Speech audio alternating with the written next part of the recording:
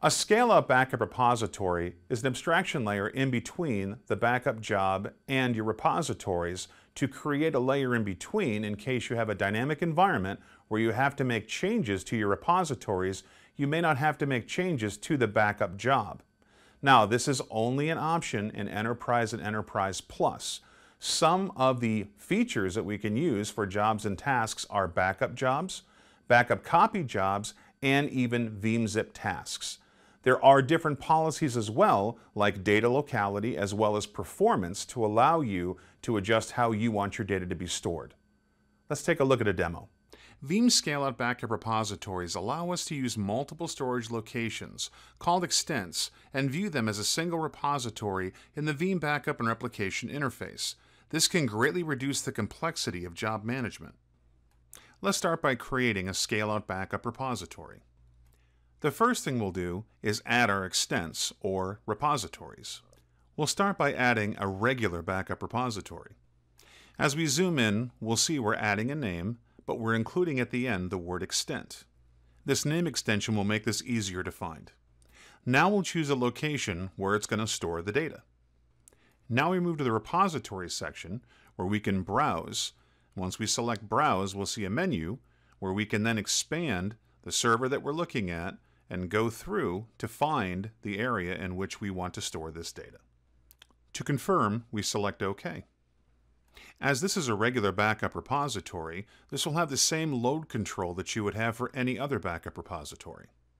This includes limit maximum concurrent tasks and limit read and write data rates. We can also find additional options by selecting Advanced. The first two features include align backup file data blocks and if you use deduplication, decompress backup data blocks before storing. The one feature in this list that is not supported by scale-out backup repositories is this repository is backed by rotated hard drives. That's because rotating media are not permitted to be used as extents in a scale-out backup repository. The last feature in the list, Use per VM backup files, allows us to split our backup files into one chain per virtual machine, which is seen right here. This works both at the extent level or on a scale-out backup repository as a whole, which we will see in a moment. Once you've selected the repository features we'd like to use, we can then move on to the mount server settings. This is where you can enable the vPower NFS service on the mount server. Then we go to Review and then Apply to create the storage location. This is also referred to as the extent. Once that's completed, then we can go and create a scale-out repository. We do this by right-clicking on Scale-out Repository and selecting Add Scale-out Repository from the menu. As we zoom in on the menu, we'll see this is where we give it its own unique name. The next step is to decide which extents will be added to the performance tier. This would typically be our on-prem storage. Now we click Add and select the extents that we created earlier. Once selected, we click OK, and now we can go down and take a look at the advanced settings that are down here in the bottom right. The first option, Use per VM backup files, allows the use of all the extents in this scale-out repository. The second option will allow us to force an active full backup of the content we are requesting if an extent is offline. Once we've selected the options we want, we can then select OK and move on to the next menu. The next section we will be configuring will be the placement policy. The placement policy will define where the backup files will be located within the extents of your scale-out repository. Data locality will allow us to keep our chains of backup files together, like locating the full backups in the same extent as the incrementals. The performance placement policy allows us to split these backup files between different extents, this will spread the load across your configured storage locations. Once we select Performance, then we'll be able to select Customize. In this menu, we can see the two extents that we configured earlier. When we select either one of these extents, we'll be able to go to the Edit Properties section to be able to make additional changes. So, if I come up here and I select the first extent, which is called Extent 1, you'll see I select Edit, and now I can do backup files or just incremental files. In this example, we're going to choose data locality because some of our extents are using REFS. You will need to keep all of your data on the same extent if you want to take advantage of REFS's block clone capabilities. This would also be the preferred option if you plan on using deduplicated storage. Now we go to the bottom and select Next, so we can now move on to the capacity tier configuration. The first option we see is Extend Scale-Out Backup Repository Capacity with Object Storage. Once my data is in a sealed chain, the backup files are no longer being merged because we've reached a selected operational window. We can now build some objects that can be sent to our object storage with the data from our backup files while also keeping a subset on-prem for easy restore. We also have the option to encrypt data uploaded to object storage at the bottom of this menu as well.